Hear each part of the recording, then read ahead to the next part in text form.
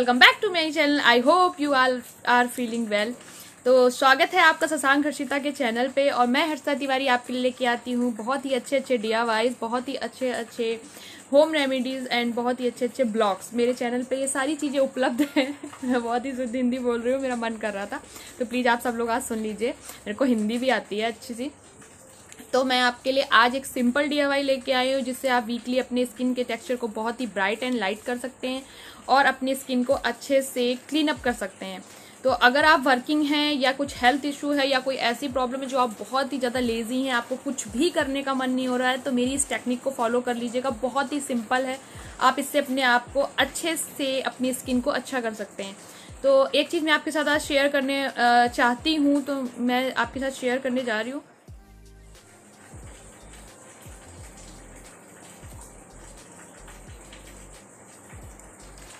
तो मेरे को बैक प्रॉब्लम हो गई है। तो मेरे को बिल्कुल बेड रेस्ट बताया गया है, पर मैं नहीं मान रही हूँ। इस वजह से लास्ट वीडियो मेरी फैमिली ने देखी और मुझे बहुत ज़्यादा भयंकर वाली डांट लगी हुई है कि आप कोई भी ऐसी वीडियो नहीं बनाएँगे जिसमें ज़्यादा वर्क करना है, ज़्यादा झुकना है या ज़्यादा बैक प्रॉब्लम होनी या कुछ भी ऐसा हेयर केयर केयर से रिलेटेड आप नहीं बना सकते हैं। तो मैं आपके लिए एक सिंपल वीडियो लेके आई. आई होप आप सबको पसंद आएगी और आप सब मुझे सपोर्ट करेंगे. मेरे हेल्थ इशू में भी कि आप मेरी वीडियो को अच्छे से देखेंगे और आ, बस उस सारी चीज़ों को फॉलो करेंगे और अपनी स्किन पे भी अप्लाई करेंगे. तो मैं उसी वजह से बाहर नहीं जा सकती हूँ किसी पार्लर नहीं जा सकती. मेरी थ्रेड भी हो चुकी थी और थोड़ा सा स्किन भी डैमेज हो चुका था. तो उस वजह से मैंने एक सिंपल प्रोसेस जो मैं करती हूँ रेगुलर बेसिस पे वही आपके साथ शेयर किया है आज. और आई होप ये वीडियो यहाँ पे मैं फोर टू फाइव लीव्स ले रही हूँ अपने ही एलोवेरा प्लांट की डायरेक्टली यूज़ करने के लिए। उसको मैंने वाटर में वन टू आवर्स के लिए छोड़ दिया था, जिससे इसमें होने वाले जो एक्स्ट्रा एसेंस होते हैं, उनको मैं रिमूव करना चाहती थी, क्योंकि वो हमारी स्किन के लिए फ़ायदेमंद नहीं होते हैं। तो कुछ इस तरह का येलो वाटर हमें मिलता है उसके बाद में। इस तरह से आपको वाटर में डाल के रखना है वन टू टू आवर्स के लिए। इस तरह का वाटर आपको निकल के मिलेगा, उसमें उसको आपको फेंक देना है। इसके बाद इसके साइड के पार्ट्स को एच को रिमूव कर देना है, क्योंकि इसमें जो ये छोटे छोटे पिंस होते हैं, कांटे होते हैं, वो हमारी स्किन को और डैमेज कर सकते हैं। इस तरीके से आपको छोटे छोटे क्यूब्स में इसे डिवाइड कर लेना है। इस तरीके से मैं आपको बता रही हूँ सेम वैसे ही सारी प्रोसेस करनी इसको कुछ देर के लिए ऐसे ही छोड़ देना है, जैसे तो जैसे ही इसको आप इस तरीके से कट करके रखेंगे, ये अपने एलोवेरा को, जेल को छोड़ देगा। उसके बाद अपनी स्किन को बहुत अच्छे से क्लीन कर लेना है, एक अच्छे फेस वॉश से। आपको मेरी स्किन अभी से ग्लोइंग लग रही है क्योंकि मैं प्रॉपर इसको ही यूज़ करती हूँ। बस इस क्यूब्स को आपको लेना है, अपने हेयर्स का बन बना लेना है। मैं साइड में आपको शो कर रही हूँ कि क्या क्या फ़ायदे होते हैं हमारी स्किन के लिए, हमारे स्वास्थ्य के लिए इसको यूज़ करने से। तो सिंपली आपको सिर्फ़ अपने फेस पे अप्लाई करना है। बहुत अच्छे से 15 टू 20 मिनट्स आपको अच्छे से मसाज करनी है इससे। गाइस प्लीज़ एक बार जिसको ज़रूर ट्राई कीजिएगा। बहुत ही ज़्यादा इफ़ेक्टिव होता है हमारे स्किन के टेक्सचर को अच्छा करने में। आपके स्किन पे जो रिंकल्स प्रॉब्लम होगी और जो डलनेस होगी या आपकी स्किन पे कोई अदर इशू होगा, वो सारे इशूज़ को ये धीरे धीरे सॉल्व कर देगा। मैं ये नहीं कहूँगी कि वन डे में ही सॉल्व हो जाएगा। प्रॉपर आपको करना है। फिर इसके बाद अपने हैंड्स को रब करके इसको हीट देनी है, एक नेचुरल हीट देनी है, जिससे ये आपकी स्किन पे अच्छे से एब्जॉर्ब हो जाए। तो मैं वही कर रही हूँ, इसको 15 मिनट तक अपने स्किन पे मसाज दूँगी इससे। बहुत अच्छा फील होता है इसको अप्लाई करने के बाद। ये हमारी स्किन को मॉइस्चराइज करता है। एलोवेरा में vitamin E vitamin C vitamin A भरपूर मात्रा में होता है तो हमारे लिए बहुत ही यूजफुल है। अब सेकेंड स्टेप मैं यहाँ पर आपको दिखाने जा रही हूँ। मैं अपनी स्किन को पैम्प करने के लिए क्या क्या करती हूँ? मैं अपनी स्किन को करूँगी आज रेज़र।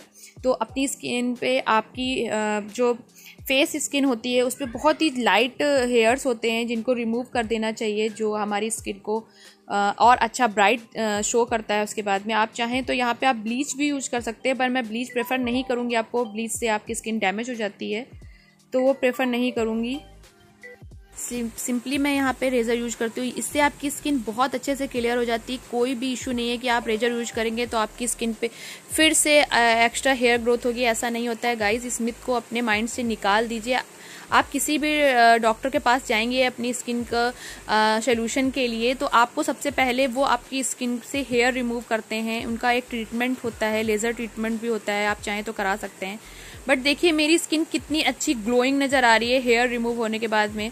सारी चीज़ें रिमूव हो जाती है इससे हमारी डस्ट भी निकल जाती है हमारी स्किन की और मेरी स्किन स्किन बहुत अच्छे से ग्लोइंग नज़र आती है। तो आप ये वाली प्रोसेस वीक में वन टाइम कर सकते हैं तो करिए। अदरवाइज़ अगर आप वीक में नहीं करना चाहते तो मंथ में तो वन टाइम आप करिए ही करिए। इससे कोई ऐसा नहीं है कि आपकी हेयर ग्रोथ बढ़ जाएगी। बिल्कुल भी ऐसा नहीं होता क्योंकि ये मेरे को भी ऐसा ही पहले फील होता था, पर ऐसा नहीं हुआ मेरे साथ।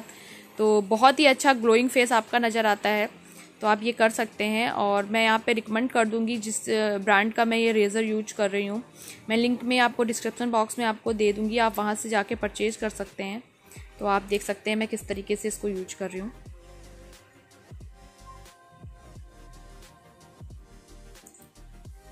इसको करने के बाद में आपको एलोवेरा जेल फिर से अपनी स्किन पे अप्लाई करने रहना कुछ टाइम के लिए।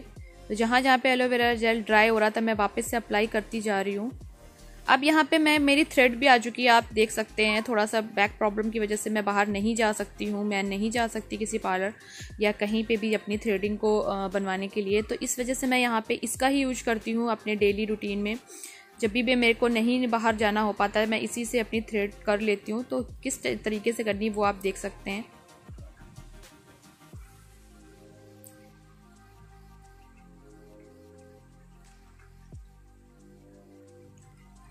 गाइज़ यहाँ पे बहुत ज़्यादा बारिश हो रही है तो प्लीज़ अवॉइड दिस वॉइस की बाहर से बारिश की आवाज़ आ रही है, उसको आप प्लीज़ अवॉइड कीजिएगा मेरी वीडियो में और मेरी वीडियो को स्किप मत कीजिएगा और बहुत अच्छे से देखिएगा।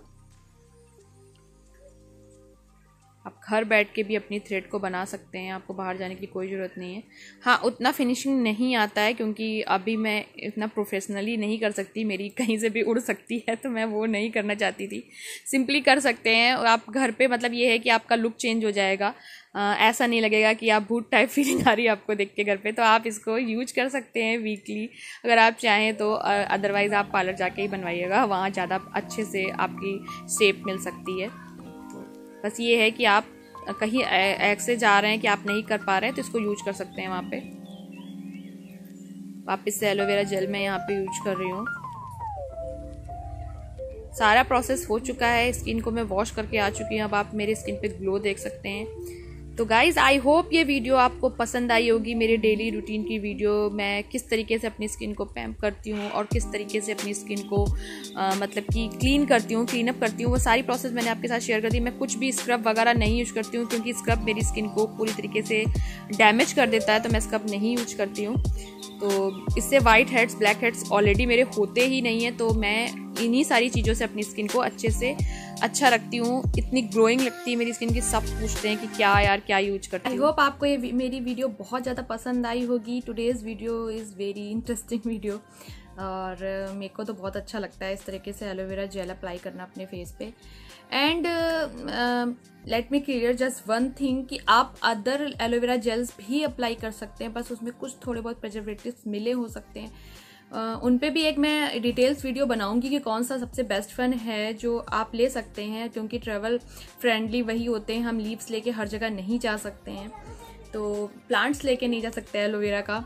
तो आप वही लेके जाते हैं तो उसके ऊपर भी एक मैं डिटेल वीडियो ज़रूर बनाऊँगी आप सबके लिए। तो अभी तक के लिए ये वीडियो आप देखिए और वॉच करिए और कमेंट सेक्शन में बताइए मेरी वीडियो कैसी लगी।